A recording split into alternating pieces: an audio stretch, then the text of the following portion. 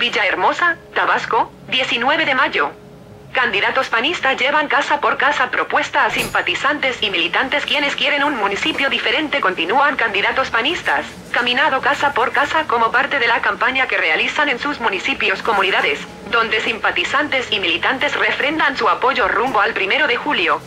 de persona a persona fue como Clotilde Martínez, candidata a diputada local por el Distrito 18 que comprende Macuspana, convenció a ciudadanos de toda la colonia centro que se ubica en la cabecera municipal para que este primero de julio emitan su voto y lo hagan por las opciones diferentes que representa el Partido Acción Nacional